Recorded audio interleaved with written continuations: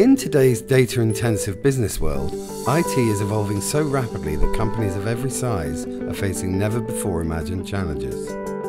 Established organizations must strike a delicate balance between planning for current needs and innovating for the future. Tech reporter David Kirkpatrick sat down with us for a discussion on the state of IT 50 years since the introduction of the mainframe. The ability of your systems to adapt to new business needs is going to always be growing. So if you don't have a technology infrastructure and a technology attitude and approach that constantly adapts to changing business needs, you're going to be in trouble as a business. Financial firms rely very heavily on mainframes. The air traffic control system, uh, airline ticketing, and, and, the most advanced retail companies that radically brought down the cost of a lot of consumer products there are plenty of places where mainframes remain way more efficient and effective and cost effective.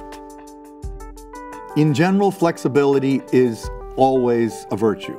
And in technology, more maybe even than most things. Because technology will be so permeated across the enterprise that everything is becoming technologized.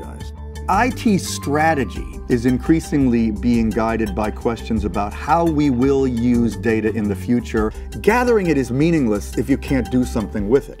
So companies that are going to do best are going to be companies that have CEOs and top management teams that appreciate technology will be the driver of competitive advantage.